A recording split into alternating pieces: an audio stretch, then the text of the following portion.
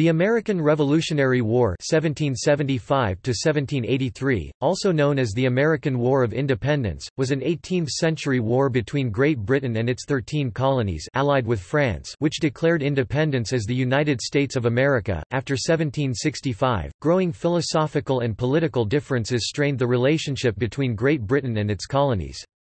Patriot protests against taxation without representation followed the Stamp Act and escalated into boycotts, which culminated in 1773 with the Sons of Liberty destroying a shipment of tea in Boston Harbor. Britain responded by closing Boston Harbor and passing a series of punitive measures against Massachusetts Bay Colony. Massachusetts colonists responded with the Suffolk Resolves, and they established a shadow government which wrested control of the countryside from the Crown. Twelve colonies formed a Continental Congress to coordinate their resistance, establishing committees and conventions that effectively seized power. British attempts to disarm the Massachusetts militia in Concord led to open combat on April 19, 1775.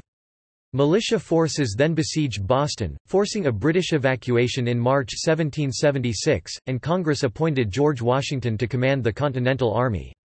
Concurrently, the Americans failed decisively in an attempt to invade Quebec and raise insurrection against the British. On July 2, 1776, the Continental Congress voted for independence, issuing its declaration on July 4. Sir William Howe launched a British counter-offensive, capturing New York City and leaving American morale at a low ebb. However, victories at Trenton and Princeton restored American confidence. In 1777, the British launched an invasion from Quebec under John Burgoyne, intending to isolate the New England colonies. Instead of assisting this effort, Howe took his army on a separate campaign against Philadelphia, and Burgoyne was decisively defeated at Saratoga in October 1777.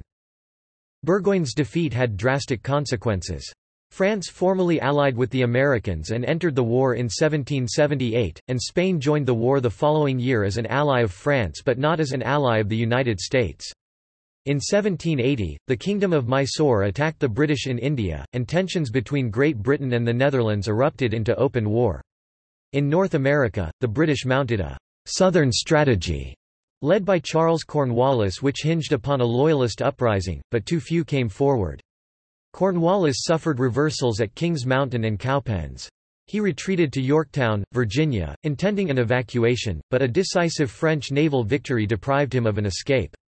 A Franco-American army led by the Comte de Rochambeau and Washington then besieged Cornwallis' army and, with no sign of relief, he surrendered in October 1781. Whigs in Britain had long opposed the pro-war Tories in Parliament, and the surrender gave them the upper hand. In early 1782, Parliament voted to end all offensive operations in North America, but the war continued in Europe and India. Britain remained under siege in Gibraltar but scored a major victory over the French navy. On September 3, 1783, the belligerent parties signed the Treaty of Paris in which Great Britain agreed to recognize the sovereignty of the United States and formally end the war. French involvement had proven decisive, but France made few gains and incurred crippling debts. Spain made some minor territorial gains but failed in its primary aim of recovering Gibraltar. The Dutch were defeated on all counts and were compelled to cede territory to Great Britain. In India, the war against Mysore and its allies concluded in 1784 without any territorial changes. Background Taxation disputes Parliament passed the Stamp Act in 1765. Colonists condemned the tax because their rights as Englishmen protected them from being taxed by a parliament in which they had no elected representatives. Parliament argued that the colonies were represented virtually, an idea that was criticised throughout the empire. Parliament did repeal the Act in 1766, however, it also affirmed its right to pass laws that were binding on the colonies. From 1767, Parliament began passing legislation to raise revenue for the salaries of civil officials, ensuring their loyalty while inadvertently increasing resentment among the colonists, and opposition soon became widespread. Enforcing the acts proved difficult. The seizure of the sloop Liberty in 1768 on suspicions of smuggling triggered a riot. In response, British troops occupied Boston, and Parliament threatened to extradite colonists to face trial in England. Tensions rose after the murder of Christopher Seider by a customs official in 1770 and escalated into outrage after British troops fired on civilians in the Boston Massacre. In 1772, colonists in Rhode Island boarded and burned a customs schooner. Parliament then repealed all taxes except the one on tea, passing the Tea Act in 1773, attempting to force colonists to buy East India Company tea on which the Townshend duties were paid, thus implicitly agreeing to parliamentary supremacy. The landing of the tea was resisted in all colonies, but the governor of Massachusetts permitted British tea ships to remain in Boston Harbor. So, the Sons of Liberty destroyed the tea chests, an incident that later became known as the Boston Tea Party. Parliament then passed punitive legislation. It closed Boston Harbor until the tea was paid for and revoked the Massachusetts Charter, taking upon themselves the right to directly appoint the Massachusetts Governor's Council. Additionally, the royal governor was granted powers to undermine local democracy. Further measures allowed the extradition of officials for trial elsewhere in the empire, if the governor felt that a fair trial could not be secured locally. The Act's vague reimbursement policy for travel expenses left few with the ability to testify, and colonists argued that it would allow officials to harass them with impunity. Further laws allowed the governor to billet troops in private property without permission. The colonists referred to the measures as the intolerable acts, and they argued that both their constitutional rights and their natural rights were being violated, viewing the acts as a threat to all of America. The acts were widely opposed, driving neutral parties into support of the Patriots and curtailing Loyalist sentiment. Colonial response The colonists responded by establishing the Massachusetts Provincial Congress, effectively removing Crown control of the colony outside Boston. Meanwhile, representatives from 12 colonies convened the First Continental Congress to respond to the crisis. The Congress narrowly rejected a proposal to create an American Parliament to act in concert with the British Parliament, instead, they passed a compact declaring a trade boycott against Britain. The Congress also affirmed that Parliament had no authority over internal American matters, but they were willing to consent to trade regulations for the benefit of the Empire, and they authorized committees and conventions to enforce the boycott. The boycott was effective, as imports from Britain dropped by 97% in 1775 compared to 1774, Parliament refused to yield. In 1775, it declared Massachusetts to be in a state of rebellion and enforced a blockade of the colony. It then passed legislation to limit colonial trade to the British West Indies and the British Isles. Colonial ships were barred from the Newfoundland cod fisheries, a measure which pleased Canadians but damaged New England's economy. These increasing tensions led to a mutual scramble for ordnance and pushed the colonies toward open war. Thomas Gage was the British commander-in-chief and military governor of Massachusetts, and he received orders on April 14, 1775 to disarm the local militias. Course of the war. War breaks out 1775 to 1776. On April 18, 1775, 700 troops were sent to confiscate militia ordnance stored at Concord. Fighting broke out, forcing the regulars to conduct a fighting withdrawal to Boston. Overnight, the local militia converged on and laid siege to Boston. On May 25, 4,500 British reinforcements arrived with Generals William Howe, John Burgoyne, and Henry Clinton. The British seized the Charlestown Peninsula on June 17 after a costly frontal assault, leading Howe to replace Gage. Many senior officers were dismayed at the attack, which had gained them little, while Gage wrote to London stressing the need for a large army to suppress the revolt. On July 3, George Washington took command of the Continental Army besieging Boston. Howe made no effort to attack, much to Washington's surprise. A plan was rejected to assault the city, and the Americans instead fortified Dorchester Heights in early March 1776 with heavy artillery captured from a raid on Fort Ticonderoga. The British were permitted to withdraw unmolested on March 17, and they sailed to Halifax, Nova Scotia. Washington then moved his army to New York. Starting in August 1775, American privateers began to raid villages in Nova Scotia, first at St. John, then Charlottetown and Yarmouth. They continued in 1776 at Canso and then a land assault on Fort Cumberland. Meanwhile, British officials in Quebec began lobbying Indian tribes to support them, while the Americans urged them to maintain their neutrality.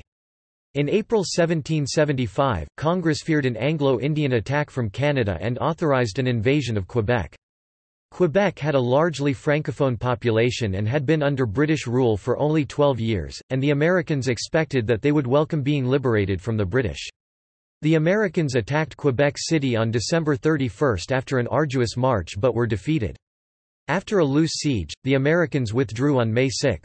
1776. A failed counterattack on June 8 ended American operations in Quebec. However, the British could not conduct an aggressive pursuit because of American ships on Lake Champlain. On October 11, the British defeated the American squadron, forcing them to withdraw to Ticonderoga and ending the campaign. The invasion cost the Patriots their support in British public opinion, while aggressive anti-loyalist policies diluted Canadian support.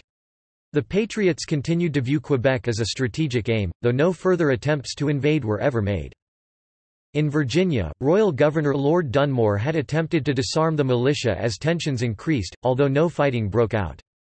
He issued a proclamation on November 7, 1775 promising freedom for slaves who fled their Patriot masters to fight for the Crown. Dunmore's troops were overwhelmed by Patriots at Great Bridge, and Dunmore fled to naval ships anchored off Norfolk. Subsequent negotiations broke down, so Dunmore ordered the ships to destroy the town. Fighting broke out on November 19 in South Carolina between Loyalist and Patriot militias, and the Loyalists were subsequently driven out of the colony.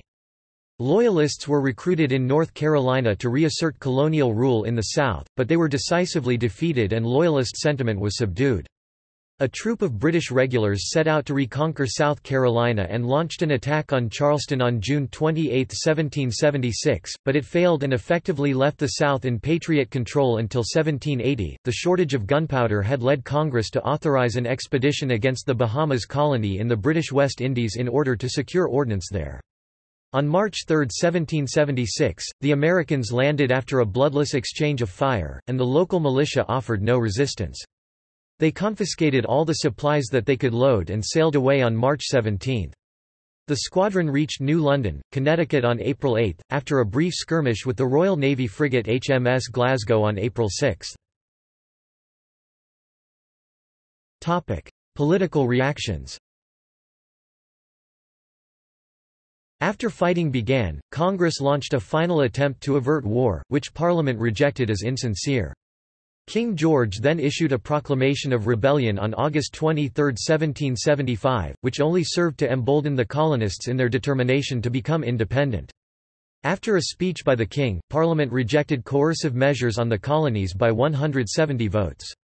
British Tories refused to compromise, while Whigs argued that current policy would drive the colonists towards independence. Despite opposition, the king himself began micromanaging the war effort. The Irish Parliament pledged to send troops to America, and Irish Catholics were allowed to enlist in the army for the first time. Irish Protestants favoured the Americans, while Catholics favoured the king. The initial hostilities provided a sobering military lesson for the British, causing them to rethink their views on colonial military capability. The weak British response gave the Patriots the advantage, and the British lost control over every colony. The army had been deliberately kept small in England since 1688 to prevent abuses of power by the king. Parliament secured treaties with small German states for additional troops and sent an army of 32,000 men to America after a year, the largest that it had ever sent outside Europe at the time. In the colonies, the success of Thomas Paine's pamphlet Common Sense had boosted public support for independence. On July 2, Congress voted in favor of independence with 12 affirmatives and one abstention, issuing its declaration on July 4. Washington read the declaration to his men and the citizens of New York on July 9, invigorating the crowd to tear down a lead statue of the king and melting it to make bullets. British Tories criticized the signatories for not extending the same standards of equality to slaves. Patriots followed independence with the test laws, requiring residents to swear allegiance to the state in which they lived, intending to root out neutrals or opponents to independence. Failure to do so meant possible imprisonment, exile, or even death. American Tories were barred from public office, forbidden from practicing medicine and law, forced to pay increased taxes, or even barred from executing wills or becoming guardians to orphans. Congress enabled states to confiscate Loyalist property to fund the war. Some Quakers who remained neutral had their property confiscated. States later prevented Loyalists from collecting any debts that they were owed. British counter-offensive 1776 1777 After regrouping at Halifax, William Howe determined to take the fight to the Americans. He set sail in June 1776 and began landing troops on Staten Island near the entrance to New York Harbor on July 2. Due to poor military intelligence, Washington split his army to positions on Manhattan Island and across the East River in western Long Island, and an informal attempt to negotiate peace was rejected by the Americans. On August 27, Howe outflanked Washington and forced him back to Brooklyn Heights. Howe restrained his subordinates from pursuit, opting to besiege Washington instead. Washington withdrew to Manhattan without any losses in men or ordnance. Following the withdrawal, the Staten Island Peace Conference failed to negotiate peace, as the British delegates did not possess the authority to recognize independence. Howe then seized control of New York City on September 15, and unsuccessfully engaged the Americans the following day. He attempted to encircle Washington, but the Americans successfully withdrew. On October 28, the British fought an indecisive action against Washington, in which Howe declined to attack Washington's army, instead concentrating his efforts upon a hill that was of no strategic value. Washington's retreat left his forces isolated, and the British captured an American fortification on November 16, taking 3,000 prisoners and amounting to what one historian terms, "...the most disastrous defeat of the entire war." Washington's army fell back four days later. Henry Clinton then captured Newport, Rhode Island, an operation which he opposed, feeling that the 6,000 troops assigned to him could have been better employed in the pursuit of Washington. The American prisoners were then sent to the infamous prison ships in which more American soldiers and sailors died of disease and neglect than died in every battle of the war combined. Charles Cornwallis pursued Washington, but Howe ordered him to halt, and Washington marched away unmolested. The outlook of the American cause was bleak, the army had dwindled to fewer than 5,000 men and would be reduced further when the enlistments expired at the end of the year. Popular support wavered, morale ebbed away, and Congress abandoned Philadelphia. Loyalist activity surged in the wake of the American defeat, especially in New York. News of the campaign was well received in Britain. Festivities took place in London, public support reached a peak, and the King awarded the Order of the Bath to William Howe. The successes led to predictions that the British could win within a year. The American defeat revealed what one writer views as Washington's strategic deficiencies, such as dividing a numerically weaker army in the face of a stronger one, his inexperienced staff misreading the situation, and his troops fleeing in disorder when fighting began. In the meantime, the British entered winter quarters and were in a good place to resume campaigning. On December 25, 1776, Washington stealthily crossed the Delaware River, and his army overwhelmed the Hessian garrison at Trenton, New Jersey the following morning, taking 900 prisoners. The decisive victory rescued the army's flagging morale and gave a new hope to the cause for independence. Cornwallis marched to retake Trenton, but his efforts were repulsed on January 2. Washington outmaneuvered Cornwallis that night, and defeated his rearguard the following day. The victories proved instrumental in convincing the French and Spanish that the Americans were worthwhile allies, as well as recovering morale in the army. Washington entered winter quarters at Morristown, New Jersey on January 6, though a protracted guerrilla conflict continued. While encamped, Howe made no attempt to attack, much to Washington's amazement. British Northern Strategy fails 1777 to 1778. In December 1776, John Burgoyne returned to London to set strategy with Lord George Germain. Burgoyne's plan was to establish control of the Champlain-George Hudson route from New York to Quebec, isolating New England. Efforts could then be concentrated on the southern colonies, where it was believed Loyalist support was in abundance. Burgoyne's plan was to lead an army along Lake Champlain, while a strategic diversion advanced along the Mohawk River, and both would rendezvous at Albany. Burgoyne set out on June 14, 1777, quickly capturing Ticonderoga on July 5. Leaving 1,300 men behind as a garrison, Burgoyne continued the advance. Progress was slow, the Americans blocked roads, destroyed bridges, dammed streams and denuded the area of food. Meanwhile, Barry Street Leger's diversionary column laid siege to Fort Stanwix. St. Leger withdrew to Quebec on August 22 after his Indian support abandoned him. On August 16, a Hessian foraging expedition was soundly defeated at Bennington, and more than 700 troops were captured. Meanwhile, the vast majority of Burgoyne's Indian support abandoned him and Howe informed Burgoyne he would launch his campaign on Philadelphia as planned, and would be unable to render aid. Burgoyne decided to continue the advance. On September 19, he attempted to flank the American position, and clashed at Freeman's Farm. The British won, but at the cost of 600 casualties. Burgoyne then dug in, but suffered a constant hemorrhage of deserters, and critical supplies were running low. On October 7, a British reconnaissance in force against the American lines was repulsed with heavy losses. Burgoyne then withdrew with the Americans in pursuit, and by October 13, he was surrounded.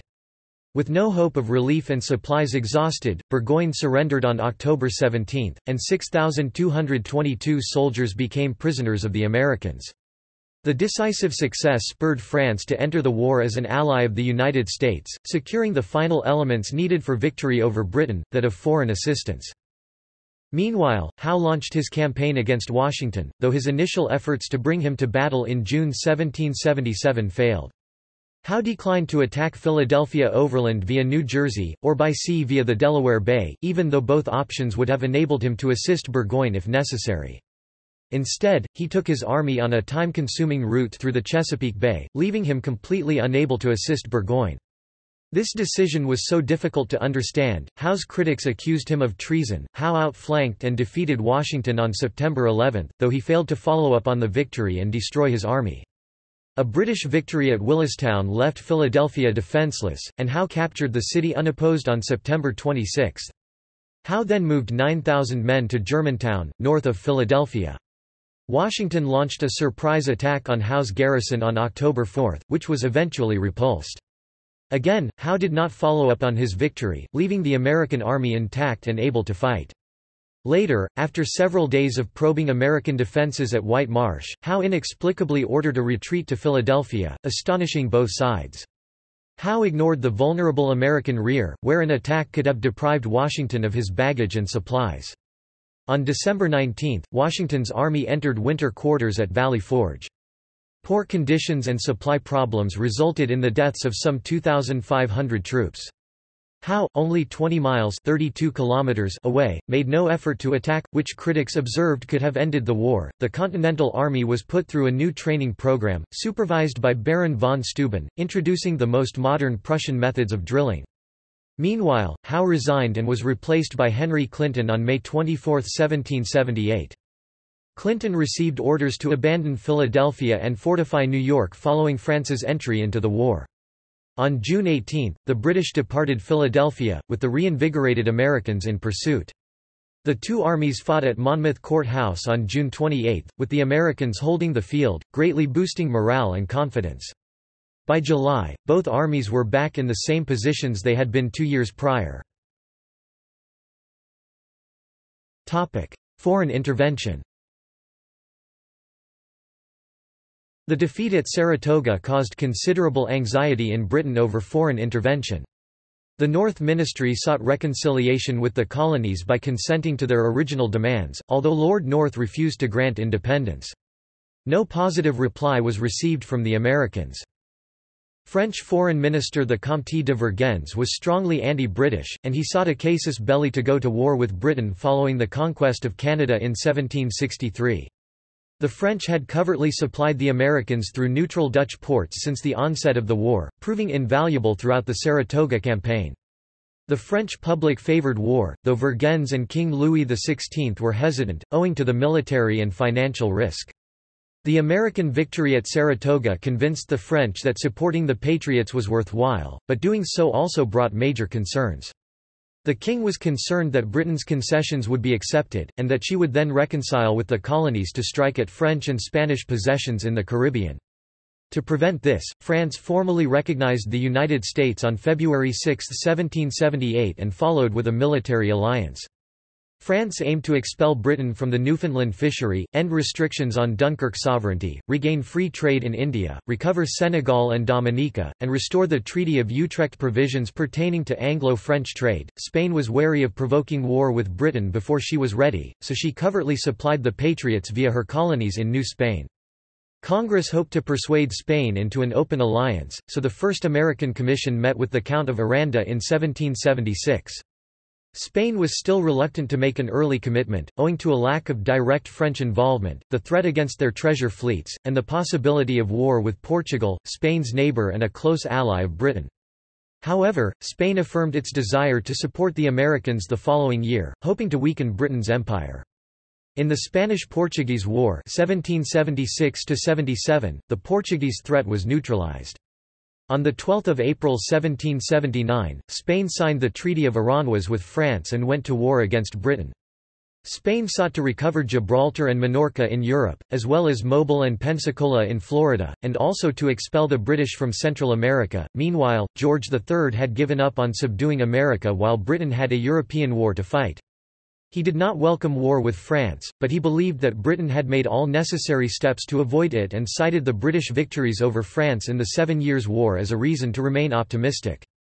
Britain tried in vain to find a powerful ally to engage France, leaving it isolated, preventing Britain from focusing the majority of her efforts in one theatre, and forcing a major diversion of military resources from America. Despite this, the king determined never to recognize American independence and to ravage the colonies indefinitely, or until they pleaded to return to the yoke of the crown. Mahon argues that Britain's attempt to fight in multiple theatres simultaneously without major allies was fundamentally flawed, citing impossible mutual support, exposing the forces to defeat in detail.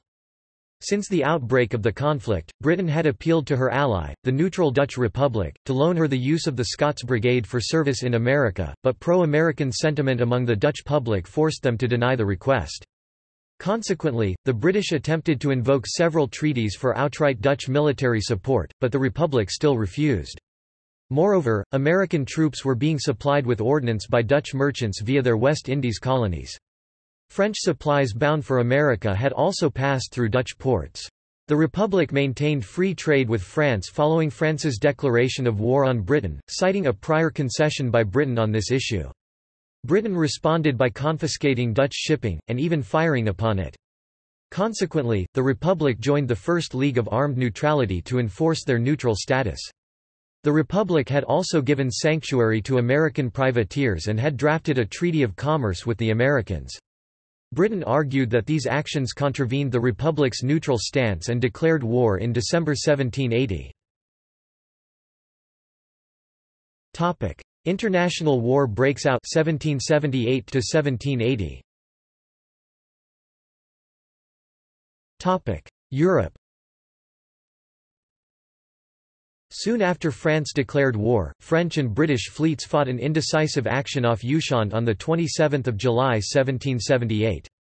Spain entered the war on 12 April 1779, with a primary goal of capturing Gibraltar. Spanish troops under the Duc de Crillon laid siege to the Rock on 24 June.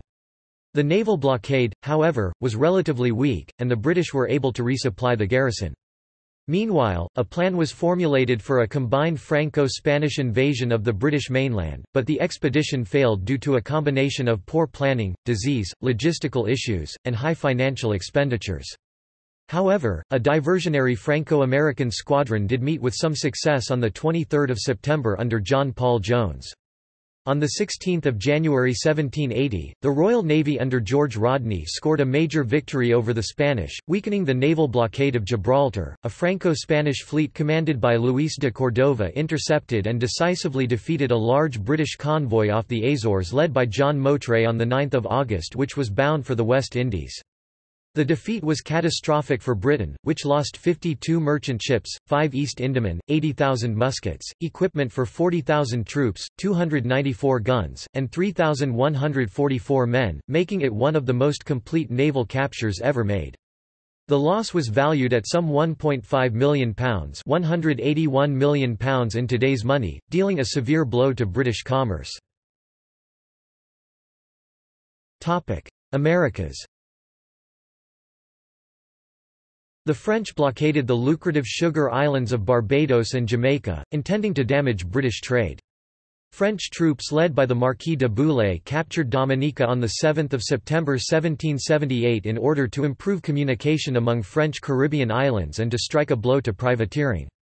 The British defeated a French naval force on 15 December and captured St. Lucia on 28 December. Both fleets received reinforcements through the first half of 1779, but the French under the Comte d'Estaing had superiority in the Caribbean and began capturing British territories, seizing St. Vincent on 18 June and Grenada on 4 July. The British fleet under John Byron was tactically defeated on July 6, having pursued d'Estaing from Grenada, the worst loss that the Royal Navy had suffered since 1690. Naval skirmishes continued until 17 April 1780, when British and French fleets clashed indecisively off Martinique. General Bernardo de Galvez raised an army in New Orleans and drove the British out of the Gulf of Mexico. Galvez captured five British forts in the lower Mississippi Valley. They repelled a British and Indian attack in St. Louis, Missouri and captured the British fort of St. Joseph in present-day Niles, Michigan. With reinforcements from Cuba, Mexico, Puerto Rico, Galvez captured Mobile and Pensacola, the capital of the British colony of West Florida. At Pensacola, Galvez commanded a multinational army of over 7,000 black and white soldiers. These men were born in Spain, Cuba, Mexico, Puerto Rico, Santo Domingo, and other Spanish colonies such as Venezuela. In Central America, the defense of Guatemala was a priority for Spain. The British intended to capture the key fortress of San Fernando de Omoa and drive the Spanish from the region. After inadequate first attempts, 1,200 British troops led by William Dalrymple arrived on 16 October, and they captured the fort on 20 October. However, the British suffered terribly due to disease and were forced to abandon the fort on 29 November. Spanish troops subsequently reoccupied it. In 1780, Jamaica's governor John Dalling planned an expedition to cut New Spain in two by capturing Granada, which would subsequently allow them full control of the San Juan River. A British expedition set out on 3 February 1780, led by John Polson and Horatio Nelson. They reached Fort San Juan on 17 March and laid siege, capturing it on 29 April. The British were ravaged by disease and were running low on food due to poor logistics. They withdrew on 8 November, the expedition having suffered a decisive defeat, some 2,500 troops had perished, making it the costliest British disaster of the war.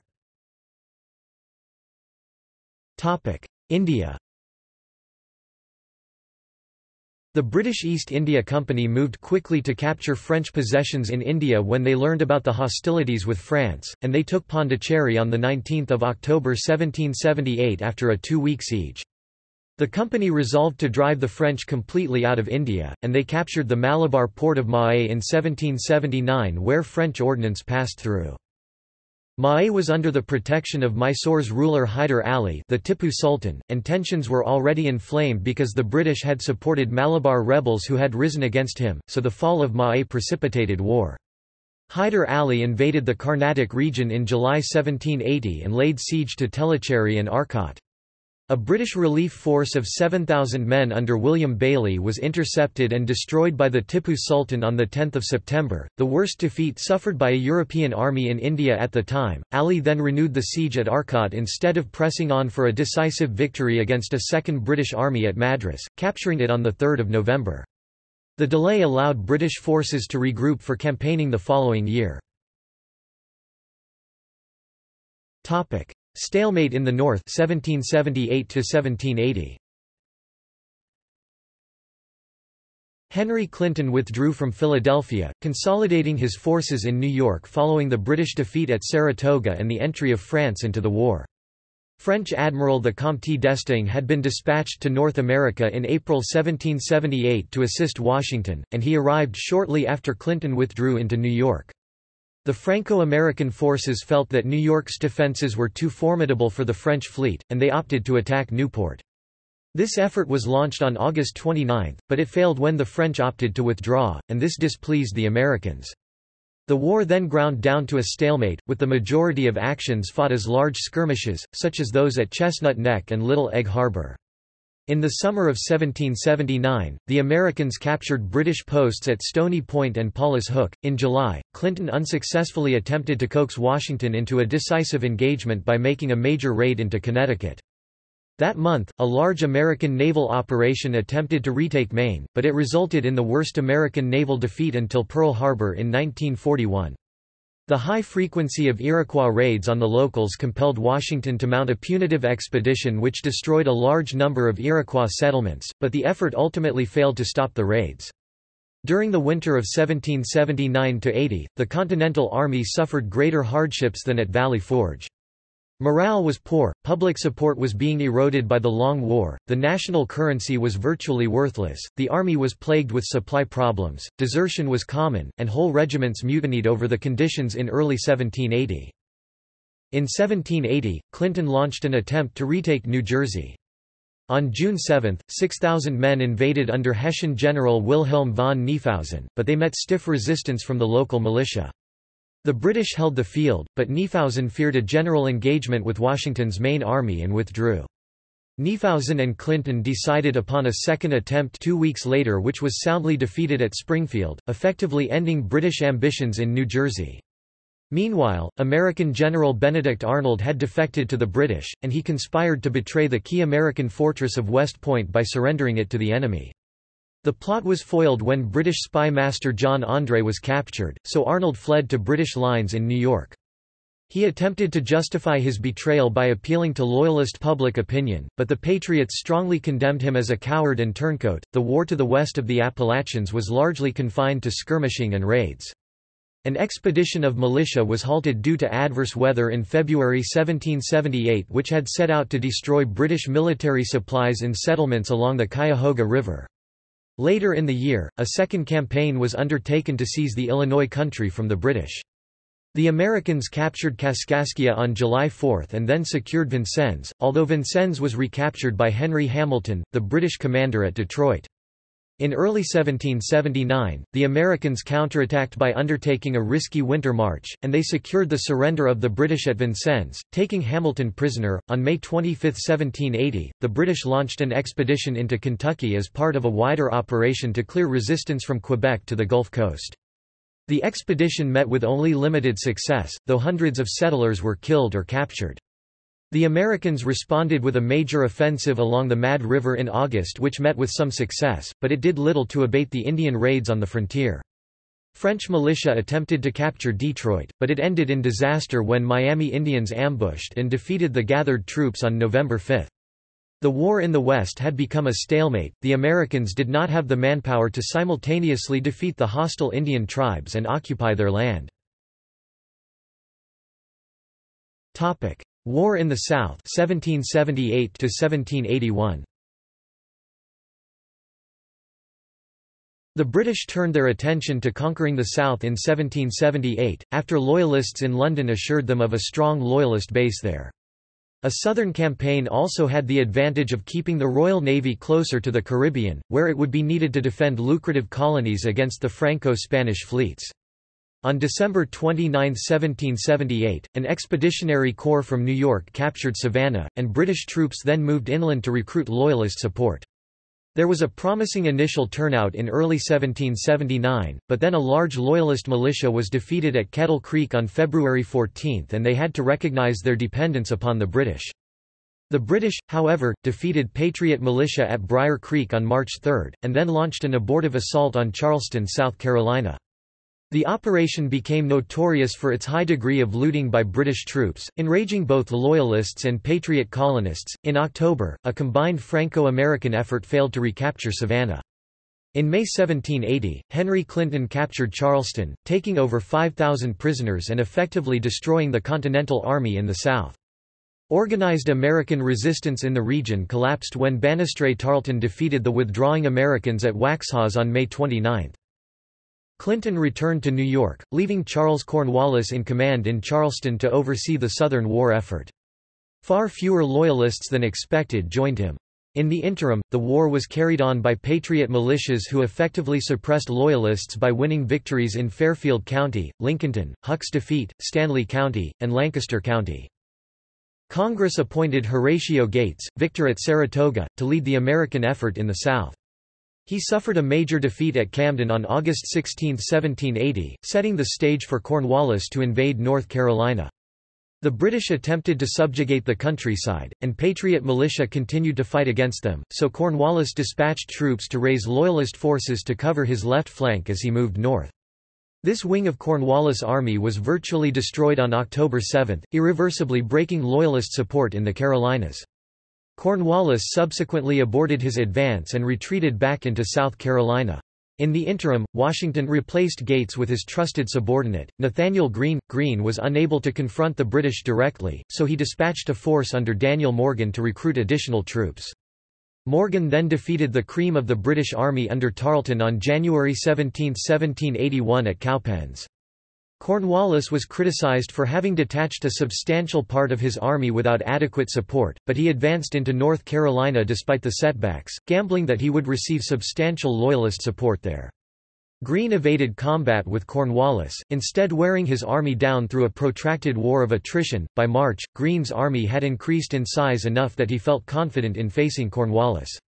The two armies engaged at Guilford Courthouse on March 15. Greene was beaten, but Cornwallis' army suffered irreplaceable casualties. Compounding this, far fewer Loyalists were joining than the British had previously expected. Cornwallis' casualties were such that he was compelled to retreat to Wilmington for reinforcement, leaving the Patriots in control of the interior of the Carolinas and Georgia. Greene then proceeded to reclaim the South.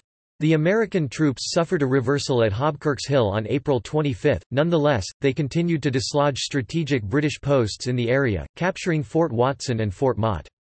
Augusta was the last major British outpost in the south outside of Charleston and Savannah, but the Americans reclaimed possession of it on June 6. A British force clashed with American troops at Eutaw Springs on September 8 in a final effort to stop Greene, but the British casualties were so high that they withdrew to Charleston. Minor skirmishes continued in the Carolinas until the end of the war, and British troops were effectively confined to Charleston and Savannah for the remainder of the conflict. British defeat in America 1781. Cornwallis had discovered that the majority of American supplies in the Carolinas were passing through Virginia, and he had written to both Lord Germain and Clinton detailing his intentions to invade. Cornwallis believed that a successful campaign there would cut supplies to Greene's army and precipitate a collapse of American resistance in the South. Clinton strongly opposed the plan, favoring a campaign farther north in the Chesapeake Bay region. Lord Germain wrote to Cornwallis to approve his plan and neglected to include Clinton in the decision-making, even though Clinton was Cornwallis' superior officer, and Cornwallis then decided to move into Virginia without informing Clinton.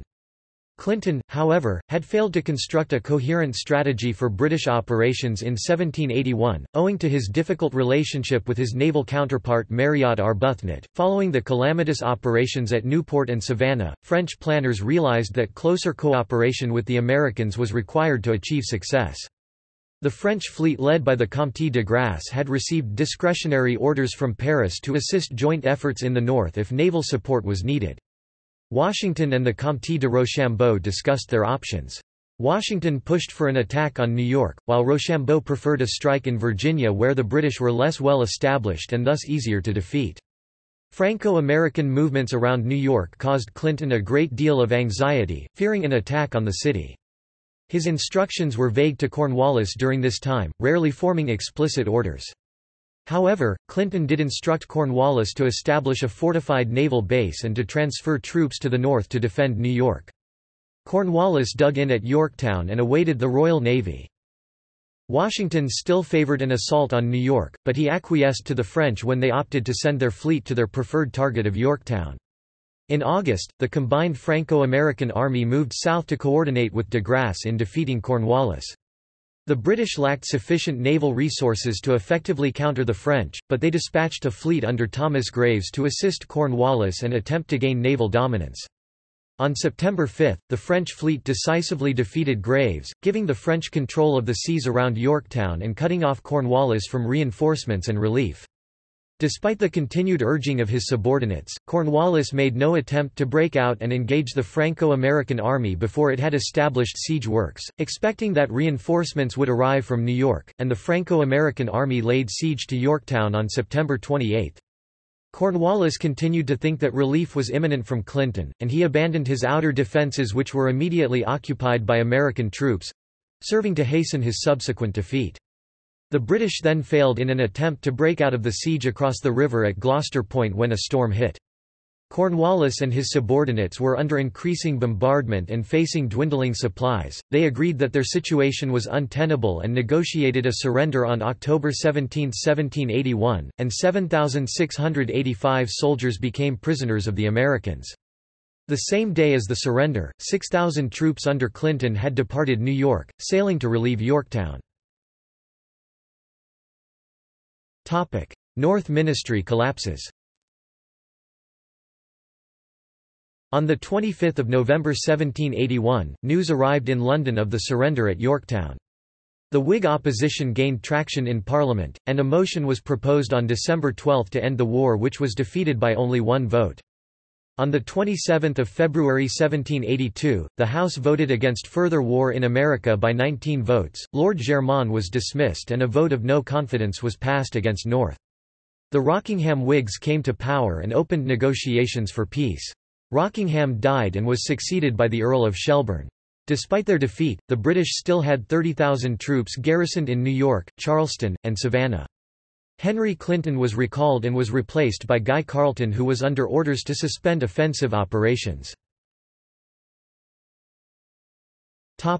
Final years of the war 1781 to -1783.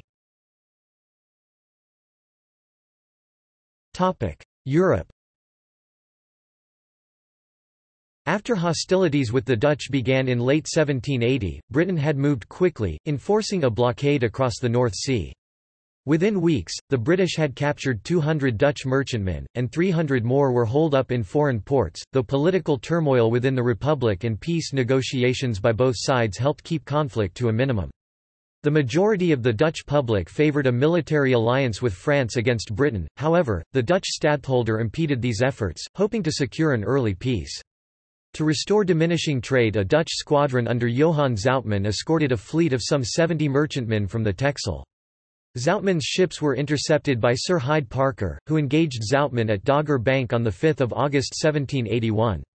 Though the contest was tactically inconclusive, the Dutch fleet did not leave harbour again during the war, and their merchant fleet remained crippled. On 6 January 1781, a French attempt to capture Jersey to neutralise British privateering failed.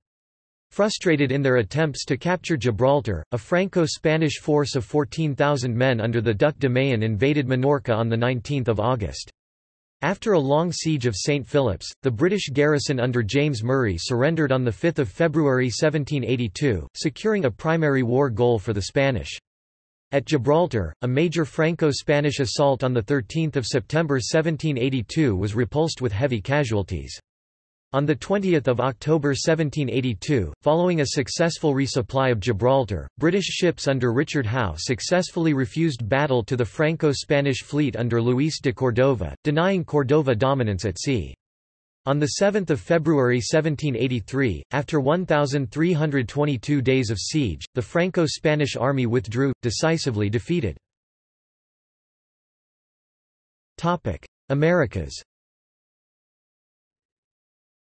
St Eustatius, a key supply port for the Patriots, was sacked by British forces under George Rodney on 3 February 1781, who plundered the island's wealth.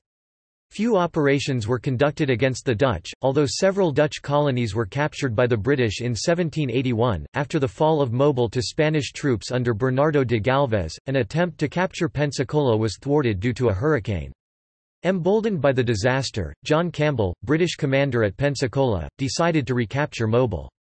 Campbell's expeditionary force of around 700 men was defeated on 7 January 1781. After regrouping at Havana, Galvez set out for Pensacola on 13 February. Arriving on 9 March, siege operations did not begin until 24 March, owing to difficulties in bringing the ships into the bay. After a 45-day siege, Galvez decisively defeated the garrison, securing the conquest of West Florida. In May, Spanish troops captured the Bahamas, although the British bloodlessly recaptured the islands the following year on 18 April. In the West Indies, on 29–30 April 1781, a Royal Navy squadron under Samuel Hood was narrowly defeated by the French, led by the Comte de Grasse, who continued seizing British territories. Tobago fell on 2 June, Demerara and Essequibo on 22 January 1782, St. Kitts and Nevis on 12 February, despite a British naval victory on 25 January, and Montserrat on the 22nd of February. In 1782, the primary strategic goal of the French and Spanish was the capture of Jamaica, whose sugar exports were more valuable to the British than the Thirteen Colonies combined. On 7 April 1782, de Grasse departed Martinique to rendezvous with Franco-Spanish troops at Saint-Domingue and invade Jamaica from the north. The British under Hood and George Rodney pursued and decisively defeated the French off Dominica between 9–12 April. The Franco-Spanish plan to conquer Jamaica was in ruins, and the balance of naval power in the Caribbean shifted to the Royal Navy. In Guatemala, Matias de Galvez led Spanish troops in an effort to dislocate British settlements along the Gulf of Honduras. Galvez captured Roatan on 16 March 1782, and then quickly took Black River. Following the decisive naval victory at the Saintes, Archibald Campbell, the royal governor of Jamaica, authorized Edward Despard to retake Black River, which he did on the 22nd of August. However, with peace talks opening, and Franco-Spanish resources committed to the siege of Gibraltar, no further offensive operations took place. India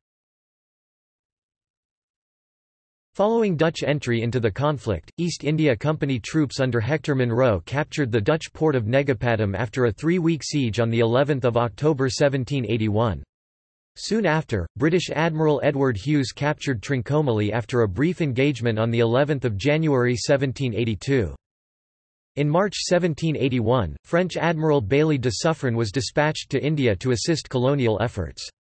Suffren arrived off the Indian coast in February 1782, where he clashed with a British fleet under Hughes, winning a narrow tactical victory. After landing troops at Porto Novo to assist Mysore, Suffren's fleet clashed with Hughes again Providien on 12 April. There was no clear victor, though Hughes' fleet came off worse, and he withdrew to the British-held port of Trincomalee. Hyder Ali wished for the French to capture Negapatam to establish naval dominance over the British, and this task fell to Suffren. Suffren's fleet clashed with Hughes again off Negapatam on 6 July. Suffren withdrew to Cuddalore, strategically defeated, and the British remained in control of Negapatam. Intending to find a more suitable port than Cuddalore, Suffren captured Trincomalee on 1 September, and successfully engaged Hughes two days later. Meanwhile, Ali's troops loosely blockaded Vellore as the East India Company regrouped. Company troops under Sir Coote led a counter-offensive, defeating Ali at Porto Novo on 1 July 1781, Pollilur on 27 August, and Sholinghur on 27 September, expelling the Mysorean troops from the Carnatic. On 18 February 1782, Tipu Sultan defeated John Braithwaite near Tanjore, taking his entire 1,800-strong force prisoner. The war had, by this point, reached an uneasy stalemate. On 7 December 1782, Hyder Ali died, and the rule of Mysore passed to his son, Tipu Sultan. Sultan advanced along the west coast, laying siege to Mangalore on 20 May 1783. Meanwhile, on the east coast, an army under James Stewart besieged the French-held port of Cuddalore on 9 June 1783.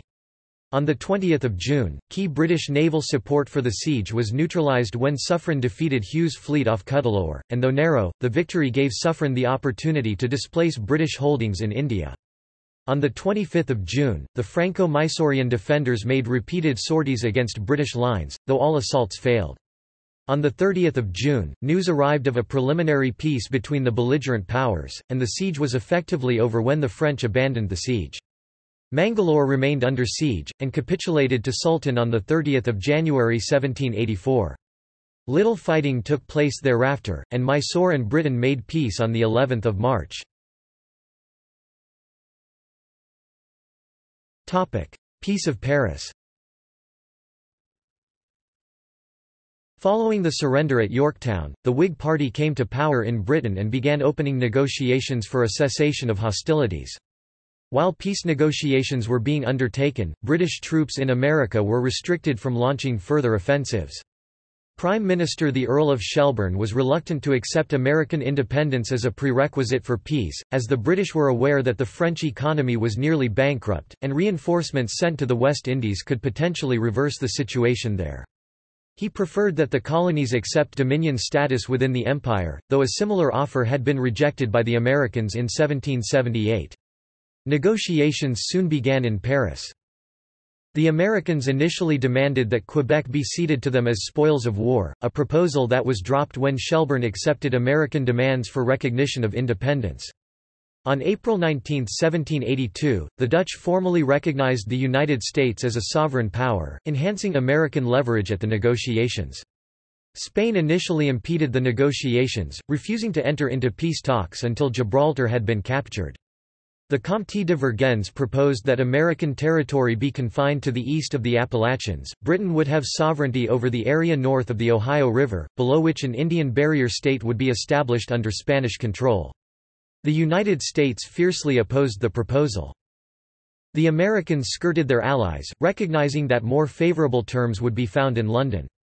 They negotiated directly with Shelburne, who hoped to make Britain a valuable trading partner of America at the expense of France. To this end, Shelburne offered to cede all the land east of the Mississippi River, north of Florida, and south of Quebec, while also allowing American fishermen access to the rich Newfoundland fishery. Shelburne was hoping to facilitate the growth of the American population, creating lucrative markets that Britain could exploit at no administrative cost to London. As Vergennes commented, "...the English buy peace rather than make it." Throughout the negotiations, Britain never consulted her American Indian allies, forcing them to reluctantly accept the treaty. However, the subsequent tension erupted into conflicts between the Indians and the young United States, the largest being the Northwest Indian War. Britain continued trying to create an Indian buffer state in the American Midwest as late as 1814 during the War of 1812. Britain negotiated separate treaties with Spain, France, and the Dutch Republic.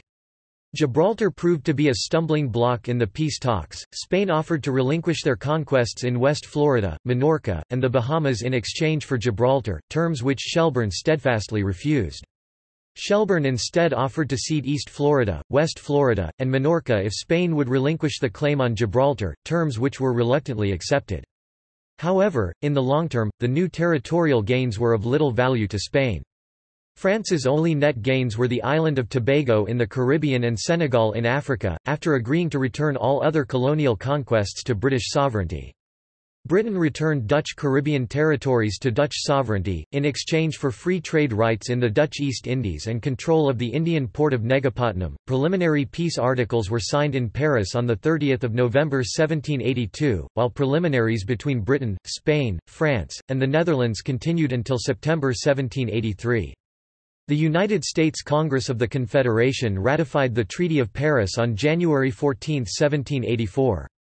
Copies were sent back to Europe for ratification by the other parties involved, the first reaching France in March 1784. British ratification occurred on April 9, 1784, and the ratified versions were exchanged in Paris on May 12, 1784. The war formally concluded on September 3, 1783. The last British troops departed New York City on November 25, 1783, marking the end of British rule in the new United States. Topic: Aftermath. Topic: Casualties and losses. Topic: Americans and Allies. The total loss of life throughout the conflict is largely unknown. As was typical in wars of the era, diseases such as smallpox claimed more lives than battle. Between 1775 and 1782, a smallpox epidemic broke out throughout North America, killing 40 people in Boston alone. Historian Joseph Ellis suggests that Washington's decision to have his troops inoculated against the disease was one of his most important decisions. Between 25,000 and 70,000 American patriots died during active military service. Of these, approximately 6,800 were killed in battle, while at least 17,000 died from disease.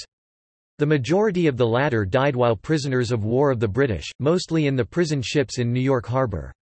If the upper limit of 70,000 is accepted as the total net loss for the Patriots, it would make the conflict proportionally deadlier than the American Civil War. Uncertainty arises due to the difficulties in accurately calculating the number of those who succumbed to disease, as it is estimated at least 10,000 died in 1776 alone. The number of patriots seriously wounded or disabled by the war has been estimated from 8,500 to 25,000. The French suffered approximately 7,000 total dead throughout the conflict. Of those, 2,112 were killed in combat in the American theaters of war. The Dutch suffered around 500 total killed, owing to the minor scale of their conflict with Britain. British and Allies. British returns in 1783 listed 43,633 rank and file deaths across the British Armed Forces. A table from 1781 puts total British Army deaths at 9,372 soldiers killed in battle across the Americas, 6,046 in North America 1775 and 3,326 in the West Indies 1778 -1780. In 1784, a British lieutenant compiled a detailed list of 205 British officers killed in action during the war, encompassing Europe, the Caribbean and the East Indies. Extrapolations based upon this list puts British Army losses in the area of at least 4,000 killed or died of wounds. Approximately 7,774 Germans died in British service in addition to 4,888 deserters. Of the former, it is estimated 1,800 were killed in combat. Around 171,000 sailors served in the Royal Navy during the war, approximately a quarter of whom had been pressed into service. Around 1,240 were killed in battle, while an estimated 18,500 died from disease 1776 to 1780.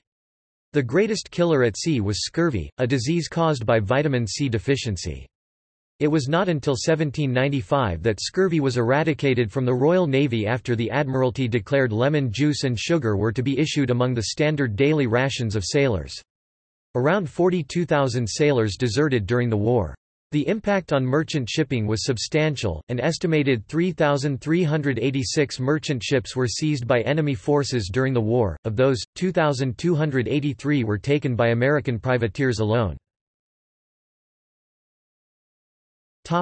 Financial debts At the start of the war, the economy of the colonies was flourishing, and the free white population enjoyed the highest standard of living in the world. The Royal Navy enforced a naval blockade during the war to financially cripple the colonies, however, this proved unsuccessful. 90% of the population worked in farming, not in coastal trade, and, as such, the American economy proved resilient enough to withstand the blockade. Congress had immense difficulties throughout the conflict to efficiently finance the war effort. As the circulation of hard currency declined, the Americans had to rely on loans from American merchants and bankers, France, Spain and the Netherlands, saddling the young nation with crippling debts. Congress attempted to remedy this by printing vast amounts of paper money and bills of credit to raise revenue. The effect was disastrous, inflation skyrocketed, and the paper money became virtually worthless. The inflation spawned a popular phrase that anything of little value was, "...not worth a continental." By 1791, the United States had accumulated a national debt of approximately $75.5 million. The United States finally solved its debt and currency problems in the 1790s, when Secretary of the Treasury Alexander Hamilton secured legislation by which the national government assumed all of the state debts, and, in addition, created a national bank and a funding system based on tariffs and bond issues that paid off the foreign debts. Britain spent around £80 million and ended with a national debt of £250 million, £27.1 billion in today's money, generating a yearly interest of £9.5 million annually. The debts piled upon that which it had already accumulated from the Seven Years' War. Due to wartime taxation upon the British populace, the tax for the average Briton amounted to approximately 4 shilling in every pound, or 20%. The French spent approximately 1.3 billion livres on aiding the Americans, accumulating a national debt of 3.315.1 billion livres by 1783 on war costs. Unlike Britain, which had a very efficient taxation system, the French tax system was highly unstable, eventually leading to a financial crisis in 1786. The debts contributed to a worsening fiscal crisis that ultimately begat the French Revolution at the end of the century. The debt continued to spiral. On the eve of the French Revolution, the national debt had skyrocketed to 12 billion livres. Spain had nearly doubled her military spending during the war, from 454 million reals in 1778 to over 700 million in 1779. Spain more easily disposed of her debts unlike her French ally, partially due to the massive increase in silver mining in her American colonies. Production increased approximately 600% in Mexico, and by 250% in Peru and Bolivia.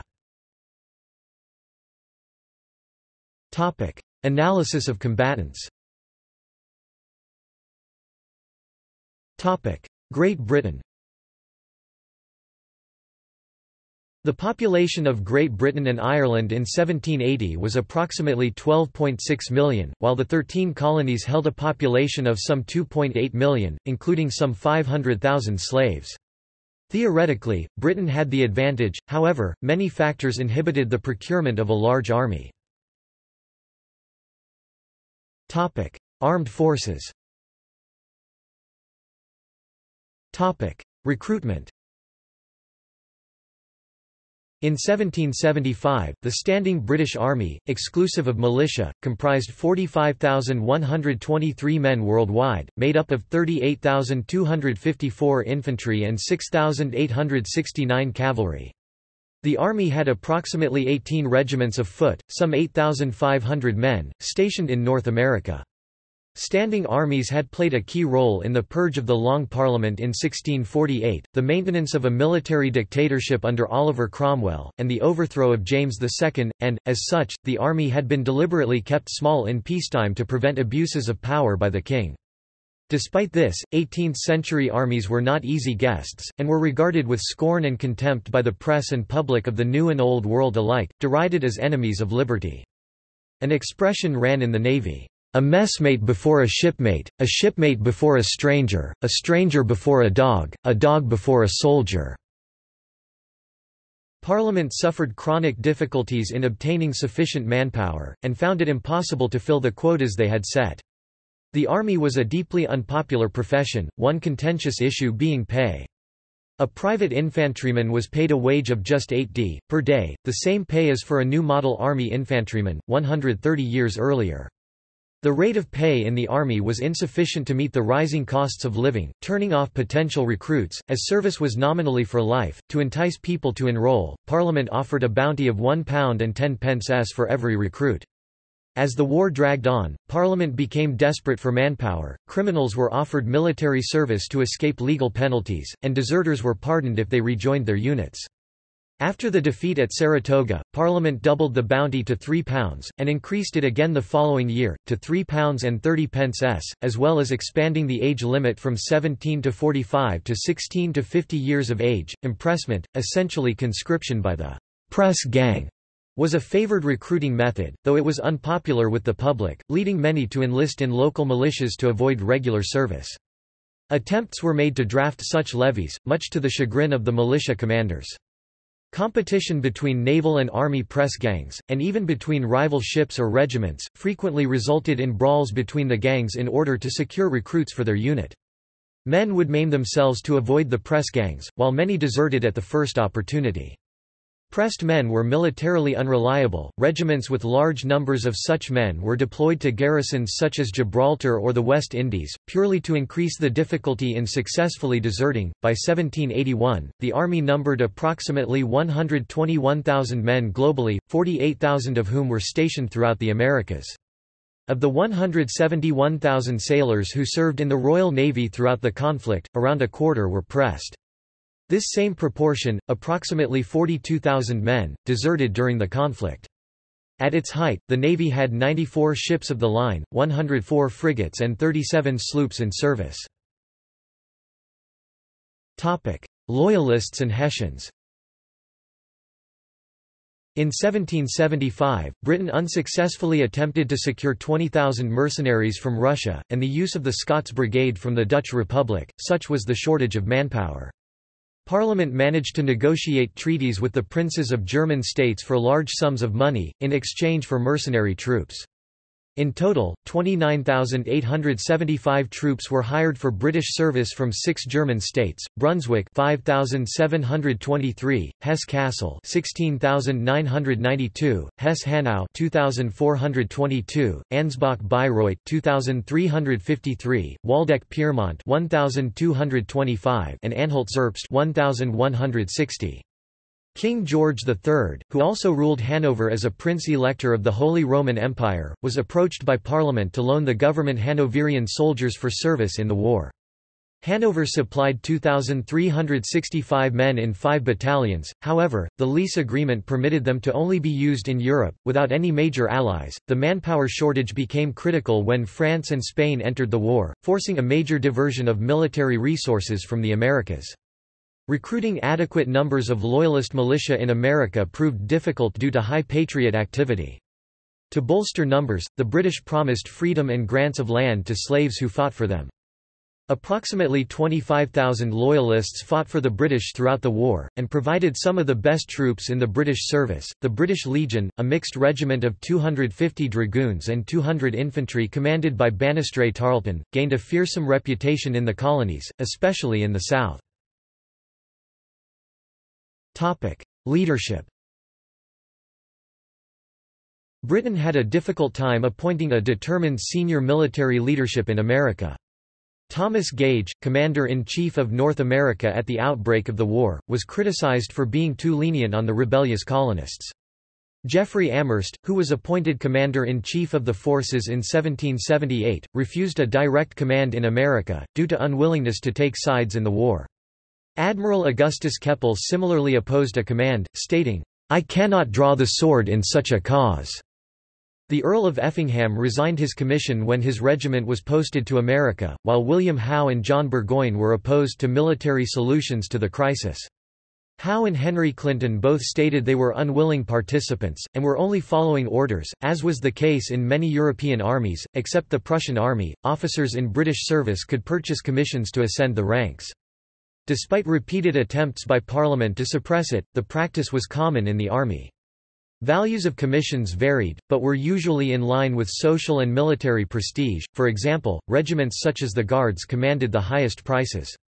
The lower ranks often regarded the treatment to high-ranking commissions by wealthier officers as plums for their consumption. Wealthy individuals lacking any formal military education, or practical experience, often found their way into positions of high responsibility, diluting the effectiveness of a regiment. Though royal authority had forbade the practice since 1711, it was still permitted for infants to hold commissions. Young boys, often orphans of deceased wealthy officers, were taken from their schooling and placed in positions of responsibility within regiments. Logistics Logistical organization of 18th-century armies was chaotic at best, and the British Army was no exception. No logistical corps existed in the modern sense, while on campaign in foreign territories such as America, horses, wagons, and drivers were frequently requisitioned from the locals, often by impressment or by hire. No centrally organized medical corps existed. It was common for surgeons to have no formal medical education, and no diploma or entry examination was required. Nurses sometimes were apprentices to surgeons, but many were drafted from the women who followed the army. Army surgeons and doctors were poorly paid and were regarded as social inferiors to other officers. The heavy personal equipment and wool uniform of the regular infantrymen were wholly unsuitable for combat in America, and the outfit was especially ill suited to comfort and agile movement. During the Battle of Monmouth in late June 1778, the temperature exceeded 100 degrees Fahrenheit (37.8 degrees Celsius) and is said to have claimed more lives through heat stroke than through actual combat.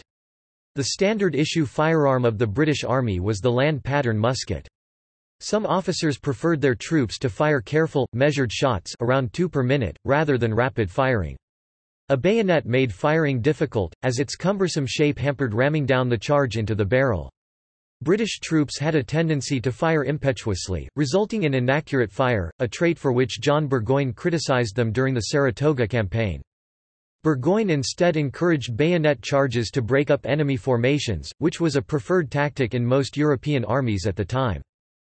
Every battalion in America had organized its own rifle company by the end of the war, although rifles were not formally issued to the Army until the Baker rifle in 1801. Flintlocks were heavily dependent on the weather, high winds could blow the gunpowder from the flash pan, while heavy rain could soak the paper cartridge, ruining the powder and rendering the musket unable to fire. Furthermore, flints used in British muskets were of notoriously poor quality, they could only be fired around six times before requiring resharpening, while American flints could fire 60. This led to a common expression among the British, "'Yankee flint was as good as a glass of grog'". Provisioning troops and sailors proved to be an immense challenge, as the majority of food stores had to be shipped overseas from Britain. The need to maintain loyalist support prevented the army from living off the land. Other factors also impeded this option, the countryside was too sparsely populated and the inhabitants were largely hostile or indifferent, the network of roads and bridges was poorly developed, and the area which the British controlled was so limited that foraging parties were frequently in danger of being ambushed. After France entered the war, the threat of the French Navy increased the difficulty of transporting supplies to America. Food supplies were frequently in bad condition. The climate was also against the British in the southern colonies and the Caribbean, where the intense summer heat caused food supplies to sour and spoil. Life at sea was little better. Sailors and passengers were issued a daily food ration, largely consisting of hardtack and beer. The hardtack was often infested by weevils and was so tough that it earned the nicknames, molar breakers and worm castles, and it sometimes had to be broken up with cannon shot. Meat supplies often spoiled on long voyages. The lack of fresh fruit and vegetables gave rise to scurvy, one of the biggest killers at sea. Topic. Discipline Discipline was harsh in the armed forces, and the lash was used to punish even trivial offences—and not used sparingly. For instance, two redcoats received 1,000 lashes each for robbery during the Saratoga campaign, while another received 800 lashes for striking a superior officer. Flogging was a common punishment in the Royal Navy and came to be associated with the stereotypical hardiness of sailors. Despite the harsh discipline, a distinct lack of self discipline pervaded all ranks of the British forces. Soldiers had an intense passion for gambling, reaching such excesses that troops would often wager their own uniforms. Many drank heavily, and this was not exclusive to the lower ranks. William Howe was said to have seen many crapulous mornings while campaigning in New York. John Burgoyne drank heavily on a nightly basis towards the end of the Saratoga campaign. The two generals were also reported to have found solace with the wives of subordinate officers to ease the stressful burdens of command.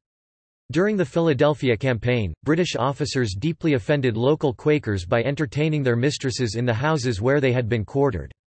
Some reports indicated that British troops were generally scrupulous in their treatment of non-combatants. This is in contrast to diaries of Hessian soldiers, who recorded their disapproval of British conduct towards the colonists, such as the destruction of property and the execution of prisoners. The presence of Hessian soldiers caused considerable anxiety among the colonists, both patriot and loyalist, who viewed them as brutal mercenaries. British soldiers were often contemptuous in their treatment of Hessian troops, despite orders from General Howe that, "...the English should treat the Germans as brothers." The order only began to have any real effect when the Hessians learned to speak a minimal degree of English, which was seen as a prerequisite for the British troops to accord them any respect. During peacetime, the army's idleness led to it being riddled with corruption and inefficiency, resulting in many administrative difficulties once campaigning began. Topic: Strategic deficiencies. The British leadership soon discovered it had overestimated the capabilities of its own troops, while underestimating those of the colonists, causing a sudden rethink in British planning. The ineffective initial response of British military and civil officials to the onset of the rebellion had allowed the advantage to shift to the colonists, as British authorities rapidly lost control over every colony. A microcosm of these shortcomings were evident at the Battle of Bunker Hill. It took ten hours for the British leadership to respond following the sighting of the Americans on the Charlestown Peninsula, giving the colonists ample time to reinforce their defences. Rather than opt for a simple flanking attack that would have rapidly succeeded with minimal loss, the British decided on repeated frontal attacks. The results were telling, the British suffered 1,054 casualties of a force of around 3,000 after repeated frontal assaults. The British leadership had nevertheless remained excessively optimistic, believing that just two regiments could suppress the rebellion in Massachusetts. Debate persists over whether a British defeat was a guaranteed outcome. Ferling argues that the odds were so long, the defeat of Britain was nothing short of a miracle. Ellis, however, considers that the odds always favoured the Americans, and questions whether a British victory by any margin was realistic. Ellis argues that the British squandered their only opportunities for a decisive success in 1777, and that the strategic decisions undertaken by William Howe underestimated the challenges posed by the Americans. Ellis concludes that, once Howe failed, the opportunity for a British victory would never come again. Conversely, the United States Army's official textbook argues that, had Britain been able to commit 10,000 fresh troops to the war in 1780, a British victory was within the realms of possibility. William Howe Historians such as Ellis and Stewart have observed that, under William Howe's command, the British squandered several opportunities to achieve a decisive victory over the Americans. Throughout the New York and Philadelphia campaigns, Howe made several strategic errors, errors which cost the British opportunities for a complete victory. At Long Island, Howe failed to even attempt an encirclement of Washington, and actively restrained his subordinates from mounting an aggressive pursuit of the defeated American army. At White Plains, he refused to engage Washington's vulnerable army, and instead concentrated his efforts upon a hill which offered the British no strategic advantage. After securing control of New York, Howe dispatched Henry Clinton to capture Newport, a measure which Clinton was opposed to, on the grounds the troops assigned to his command could have been put to better use in pursuing Washington's retreating army. Despite the bleak outlook for the revolutionary cause and the surge of Loyalist activity in the wake of Washington's defeats, Howe made no attempt to mount an attack upon Washington while the Americans settled down into winter quarters. Much to their surprise, during planning for the Saratoga campaign, Howe was left with the choice of committing his army to support Burgoyne, or capture Philadelphia, the revolutionary capital. Howe decided upon the latter, determining that Washington was of a greater threat. When Howe launched his campaign, he took his army upon a time-consuming route through the Chesapeake Bay, rather than the more sensible choices of overland through New Jersey, or by sea through the Delaware Bay. The move left him unable to assist Burgoyne even if it was required of him. The decision so angered Parliament, that Howe was accused by Tories on both sides of the Atlantic of treason. During the Philadelphia campaign, Howe failed to pursue and destroy the defeated Americans on two occasions, once after the Battle of Brandywine, and again after the Battle of Germantown. At the Battle of White Marsh, Howe failed to even attempt to exploit the vulnerable American rear, and then inexplicably ordered a retreat to Philadelphia after only minor skirmishes, astonishing both sides. While the Americans wintered only 20 miles away, Howe made no effort to attack their camp, which critics argue could have ended the war. Following the conclusion of the campaign, Howe resigned his commission, and was replaced by Henry Clinton on May 24, 1778. Contrary to Howe's more hostile critics, however, there were strategic factors at play which impeded aggressive action. Howe may have been dissuaded from pursuing aggressive maneuvers due to the memory of the grievous losses the British suffered at Bunker Hill. During the major campaigns in New York and Philadelphia, Howe often wrote of the scarcity of adequate provisions, which hampered his ability to mount effective campaigns.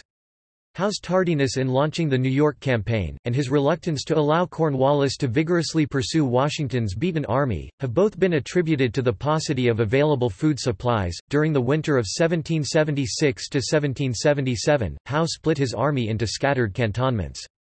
This decision dangerously exposed the individual forces to defeat in detail, as the distance between them was such that they could not mutually support each other. This strategic failure allowed the Americans to achieve victory at the Battle of Trenton, and the concurrent Battle of Princeton. While a major strategic error to divide an army in such a manner, the quantity of available food supplies in New York was so low that Howe had been compelled to take such a decision. The garrisons were widely spaced so their respective foraging parties would not interfere with each other's efforts. Howe's difficulties during the Philadelphia campaign were also greatly exacerbated by the poor quality and quantity of available provisions. Clinton and Cornwallis In 1780, the primary British strategy hinged upon a Loyalist uprising in the South, for which Charles Cornwallis was chiefly responsible. After an encouraging success at Camden, Cornwallis was poised to invade North Carolina. However, any significant Loyalist support had been effectively destroyed at the Battle of Kings Mountain, and the British Legion, the cream of his army, had been decisively defeated at the Battle of Cowpens.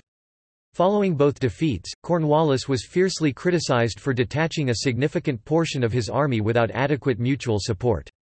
Despite the defeats, Cornwallis chose to proceed into North Carolina, gambling his success upon a large Loyalist uprising which never materialized. As a result, subsequent engagements cost Cornwallis valuable troops he could not replace, as at the Battle of Guilford Courthouse, and the Americans steadily wore his army down in an exhaustive war of attrition. Cornwallis had thus left the Carolinas ripe for reconquest. The Americans had largely achieved this aim by the end of 1781, effectively confining the British to the coast, and undoing all the progress they had made in the previous year. In a last-ditch attempt to win the war in the South, Cornwallis resolved to invade Virginia, in order to cut off the American supply base to the Carolinas. Henry Clinton, Cornwallis' superior, strongly opposed the plan, believing the decisive confrontations would take place between Washington in the north. London had approved Cornwallis' plan, however they had failed to include Clinton in the decision-making, despite his seniority over Cornwallis, leading to a muddled strategic direction. Cornwallis then decided to invade Virginia without informing Clinton of his intentions. Clinton, however, had wholly failed to construct a coherent strategy for British campaigning that year, owing to his fractious relationship that he shared with Marriott Arbuthnot, his naval counterpart. As the Franco-American army approached Cornwallis at Yorktown, he made no attempt to sally out and engage before siege lines could be erected, despite the repeated urging of his subordinate officers. Expecting relief to soon arrive from Clinton, Cornwallis prematurely abandoned all of his outer defences, which were then promptly occupied by the besiegers, serving to hasten the British defeat. These factors contributed to the eventual surrender of Cornwallis' entire army, and the end of major operations in North America. Like Howe before him, Clinton's efforts to campaign suffered from chronic supply issues. In 1778, Clinton wrote to Germain complaining of the lack of supplies, even after the arrival of a convoy from Ireland. That winter, the supply issue had deteriorated so badly, that Clinton expressed considerable anxiety over how the troops were going to be properly fed. Clinton was largely inactive in the North throughout 1779, launching few major campaigns. This inactivity was partially due to the shortage of food. By 1780, the situation had not improved. Clinton wrote a frustrated correspondence to Germain, voicing concern that a fatal consequence will ensue if matters did not improve. By October that year, Clinton again wrote to Germain, angered that the troops in New York had not received an ounce of that year's allotted stores from Britain. Topic. Campaign issues Suppressing a rebellion in America presented the British with major problems. The key issue was distance, it could take up to three months to cross the Atlantic, and orders from London were often outdated by the time that they arrived. The colonies had never been formally united prior to the conflict and there was no centralized area of ultimate strategic importance. Traditionally, the fall of a capital city often signaled the end of a conflict, yet the war continued unabated even after the fall of major settlements such as New York, Philadelphia which was the Patriot capital, and Charleston. Britain's ability to project its power overseas lay chiefly in the power of the Royal Navy, allowing her to control major coastal settlements with relative ease and enforce a strong blockade of colonial ports. However, the overwhelming majority of the American population was agrarian, not urban. As a result, the American economy proved resilient enough to withstand the blockade's effects. The need to maintain Loyalist support prevented the British from using the harsh methods of suppressing revolts that they had used in Scotland and Ireland. For example, British troops looted and pillaged the locals during an aborted attack on Charleston in 1779, enraging both Patriots and Loyalists. Neutral colonists were often driven into the ranks of the Patriots when brutal combat broke out between Tories and Whigs across the Carolinas in the later stages of the war. Conversely, Loyalists were often emboldened when Patriots resorted to intimidating suspected Tories, such as destroying property or tarring and feathering.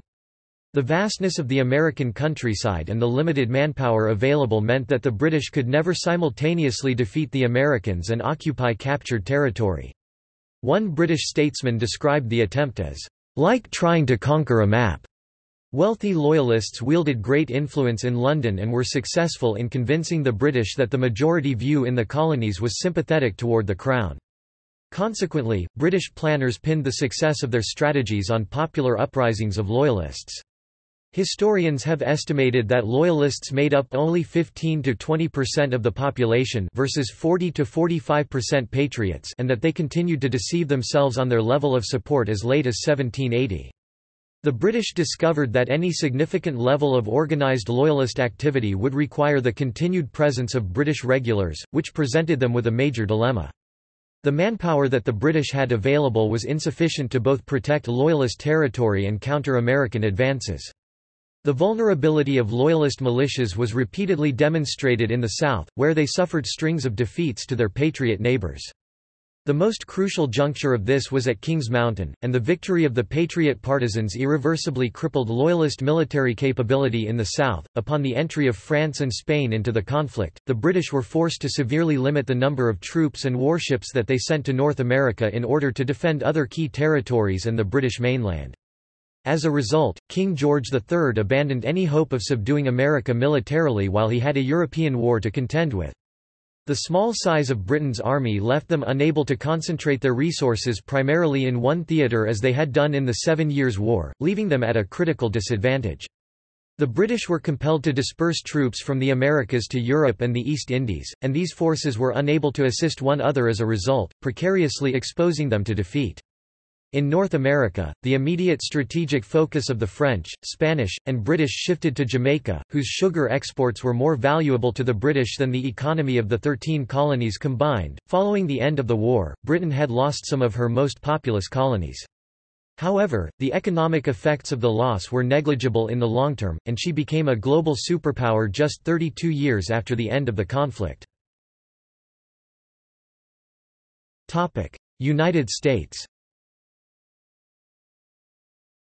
The Americans began the war with significant disadvantages compared to the British. They had no national government, no national army or navy, no financial system, no banks, no established credit, and no functioning government departments, such as a treasury. The Congress tried to handle administrative affairs through legislative committees, which proved inefficient. The state governments were themselves brand new and officials had no administrative experience. In peacetime the colonies relied heavily on ocean travel and shipping, but that was now shut down by the British blockade and the Americans had to rely on slow overland travel. However, the Americans had multiple advantages that in the long run outweighed the initial disadvantages they faced. The Americans had a large prosperous population that depended not on imports but on local production for food and most supplies, while the British were mostly shipped in from across the ocean. The British faced a vast territory far larger than Britain or France, located at a far distance from home ports. Most of the Americans lived on farms distant from the seaports. The British could capture any port but that did not give them control over the hinterland. They were on their home ground, had a smoothly functioning, well-organized system of local and state governments, newspapers and printers, and internal lines of communications. They had a long-established system of local militia, previously used to combat the French and Native Americans, with companies and an officer corps that could form the basis of local militias, and provide a training ground for the National Army created by Congress. Motivation was a major asset. The Patriots wanted to win, over 200,000 fought in the war, 25,000 died. The British expected the Loyalists to do much of the fighting, but they did much less than expected. The British also hired German mercenaries to do much of their fighting. At the onset of the war, the Americans had no major international allies. Battles such as the Battle of Bennington, the battles of Saratoga and even defeats such as the Battle of Germantown proved decisive in gaining the attention and support of powerful European nations such as France and Spain, who moved from covertly supplying the Americans with weapons and supplies, to overtly supporting them militarily, moving the war to a global stage. The new Continental Army suffered significantly from a lack of an effective training regime, and largely inexperienced officers and sergeants. The inexperience of its officers was compensated for in part by a few senior officers. The Americans solved their training dilemma during their stint in winter quarters at Valley Forge, where they were relentlessly drilled and trained by General Friedrich Wilhelm von Steuben, a veteran of the famed Prussian General Staff. He taught the Continental Army the essentials of military discipline, drills, tactics and strategy, and wrote the Revolutionary War Drill Manual. When the army emerged from Valley Forge, it proved its ability to equally match the British troops in battle when they fought a successful strategic action at the Battle of Monmouth. When the war began, the thirteen colonies lacked a professional army or navy. Each colony sponsored local militia. Militiamen were lightly armed, had little training, and usually did not have uniforms. Their units served for only a few weeks or months at a time, were reluctant to travel far from home and thus were unavailable for extended operations, and lacked the training and discipline of soldiers with more experience. If properly used, however, their numbers could help the Continental armies overwhelm smaller British forces, as at the battles of Concord, Bennington and Saratoga, and the Siege of Boston. Both sides used partisan warfare but the Americans effectively suppressed Loyalist activity when British regulars were not in the area. Seeking to coordinate military efforts, the Continental Congress established a regular army on June 14, 1775, and appointed George Washington as commander-in-chief. The development of the Continental Army was always a work in progress, and Washington used both his regulars and state militia throughout the war. Three current branches of the United States military trace their institutional roots to the American Revolutionary War. The United States Army comes from the Continental Army, formed by a resolution of the Continental Congress on June 14, 1775. The United States Navy recognizes October 13, 1775 as the date of its official establishment, the passage of the resolution of the Continental Congress at Philadelphia that created the Continental Navy. The United States Marine Corps links to the Continental Marines of the War, formed by a resolution of the Continental Congress on November 10, 1775. However, in 1783 both the Continental Navy and Continental Marines were disbanded. Intelligence and espionage Soldiers and sailors At the beginning of 1776, Washington commanded 20,000 men, with two-thirds enlisted in the Continental Army and the other third in the various state militias. About 250,000 men served as regulars or as militiamen for the revolutionary cause in the eight years of the war, but there were never more than 90,000 men under arms at one time. About 55,000 sailors served aboard American privateers during the war. They used 1,700 ships, and they captured 2,283 enemy ships. John Paul Jones became the first great American naval hero, capturing HMS Drake on April 24, 1778, the first victory for any American military vessel in British waters. Armies were small by European standards of the era, largely attributable, on the American side, to limitations such as lack of powder and other logistical capabilities, and, on the British side, to the difficulty of transporting troops across the Atlantic, as well as the dependence on local supplies, which the Patriots tried to cut off. The largest force Washington commanded was certainly under 17,000, and may have been no more than 13,000 troops, and even the combined American and French forces at the Siege of Yorktown amounted to only about 19,000.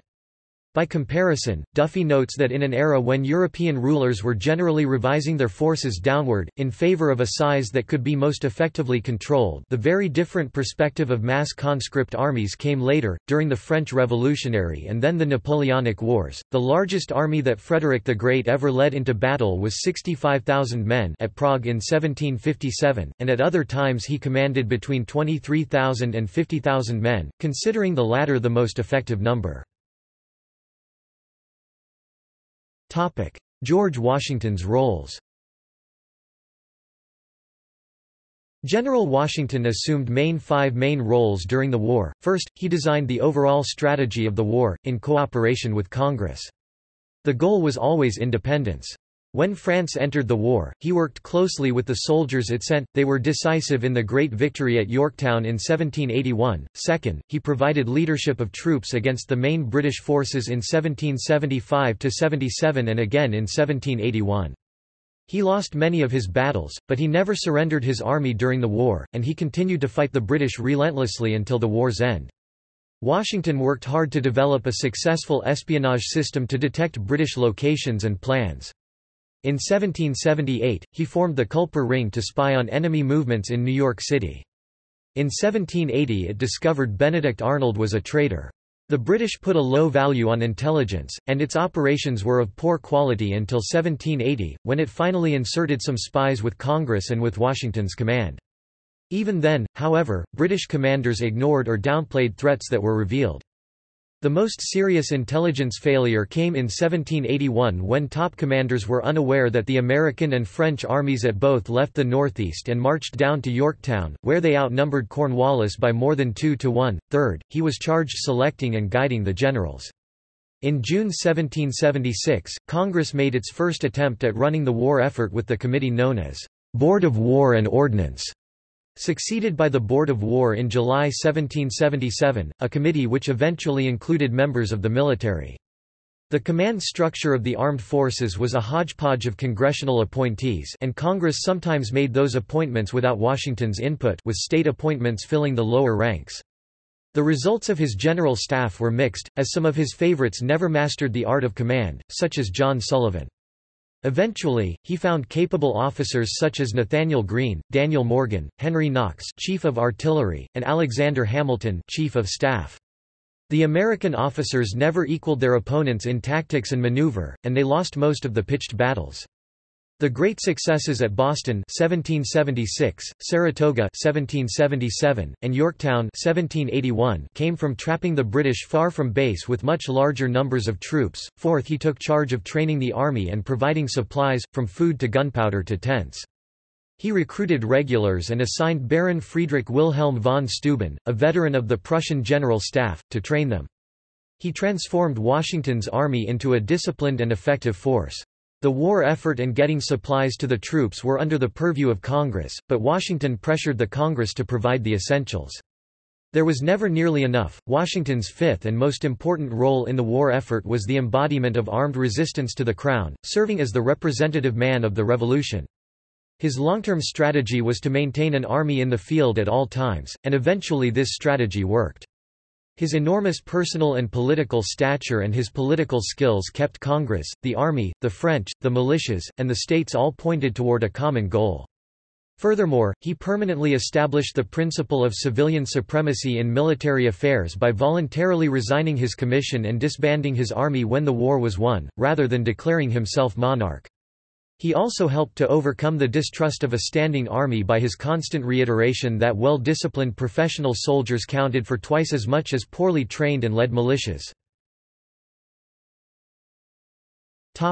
African Americans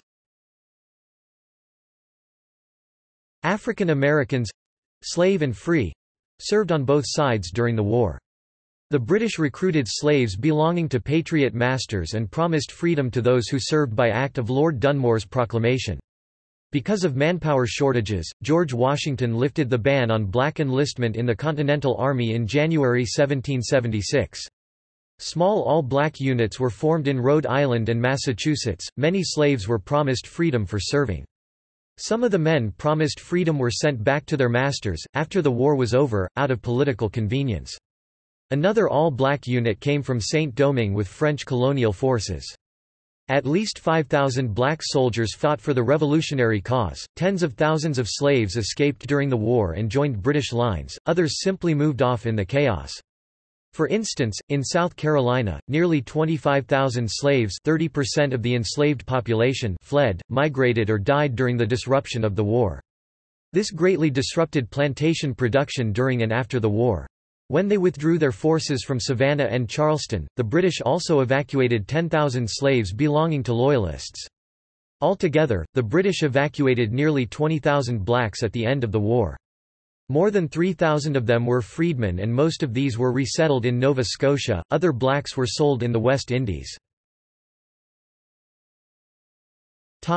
American Indians Most American Indians east of the Mississippi River were affected by the war, and many tribes were divided over the question of how to respond to the conflict.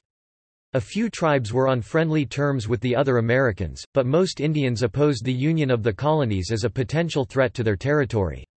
Approximately 13,000 Indians fought on the British side, with the largest group coming from the Iroquois tribes, who fielded around 1,500 men. The powerful Iroquois Confederacy was shattered as a result of the conflict, whatever side they took, the Seneca, Onondaga, and Cayuga nations sided with the British. Members of the Mohawk Nation fought on both sides. Many Tuscarora and Oneida sided with the colonists. The Continental Army sent the Sullivan Expedition on raids throughout New York to cripple the Iroquois tribes that had sided with the British. Mohawk leaders Joseph Louis Cook and Joseph Brant sided with the Americans and the British respectively, and this further exacerbated the split. Early in July 1776, a major action occurred in the fledgling conflict when the Cherokee allies of Britain attacked the western frontier areas of North Carolina. Their defeat resulted in a splintering of the Cherokee settlements and people, and was directly responsible for the rise of the Chickamauga Cherokee, bitter enemies of the colonials who carried on a frontier war for decades following the end of hostilities with Britain. Creek and Seminole allies of Britain fought against Americans in Georgia and South Carolina. In 1778, a force of 800 Creeks destroyed American settlements along the Broad River in Georgia. Creek warriors also joined Thomas Brown's raids into South Carolina and assisted Britain during the Siege of Savannah. Many Indians were involved in the fighting between Britain and Spain on the Gulf Coast and up the Mississippi River—mostly on the British side. Thousands of Creeks, Chickasaws, and Choctaws fought in major battles such as the Battle of Fort Charlotte, the Battle of Mobile, and the Siege of Pensacola. Race and class Pybus 2005 estimates that about 20,000 slaves defected to or were captured by the British, of whom about 8,000 died from disease or wounds or were recaptured by the Patriots. The British took some 12,000 at the end of the war, of these 8,000 remained in slavery. Including those who left during the war, a total of about 8,000 to 10,000 slaves gained freedom. About 4,000 freed slaves went to Nova Scotia and 1,200 blacks remained slaves. Baller 2006 examines family dynamics and mobilization for the Revolution in central Massachusetts. He reports that warfare and the farming culture were sometimes incompatible. Militiamen found that living and working on the family farm had not prepared them for wartime marches and the rigors of camp life. Rugged individualism conflicted with military discipline and regimentation. A man's birth order often influenced his military recruitment, as younger sons went to war and older sons took charge of the farm. A person's family responsibilities and the prevalent patriarchy could impede mobilization. Harvesting duties and family emergencies pulled men home regardless of the sergeant's orders. Some relatives might be loyalists, creating internal strains. On the whole, historians conclude the revolution's effect on patriarchy and inheritance patterns favored egalitarianism. McDonnell 2006 shows a grave complication in Virginia's mobilization of troops was the conflicting interests of distinct social classes, which tended to undercut a unified commitment to the patriot cause. The assembly balanced the competing demands of elite slave-owning planters, the middling yeomen some owning a few slaves, and landless indentured servants, among other groups. The assembly used deferments, taxes, military service substitute, and conscription to resolve the tensions. Unresolved class conflict, however, made these laws less effective. There were violent protests, many cases of evasion, and large-scale desertion, so that Virginia's contributions came at embarrassingly low levels. With the British invasion of the state in 1781, Virginia was mired in class division as its native son, George Washington, made desperate appeals for troops. See also. American Revolutionary War portal. Topic. Notes. Topic. References. Topic. Further reading. Topic. Reference literature External links